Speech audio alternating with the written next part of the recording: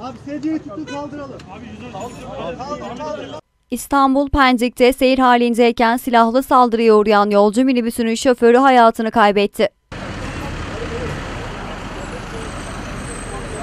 Şehir içi yolcu minibüsünün şoförü Servet Karaaslan'a iddiaya göre bir araçtan kimliği belirsiz kişi ya da kişilerce ateş açıldı. Saldırıda yaralanan Karaaslan direksiyon hakimiyetini kaybederek önce kaldırıma çıktı ardından bir sitenin bahçe duvarına çarparak durabildi. Minibüste olduğu belirtilen bir yolcu da kazada hafif şekilde yaralandı. Sağlık ekiplerince hastaneye kaldırılan sürücü Kara Aslan hastanede yapılan müdahaleye rağmen kurtarılamadı.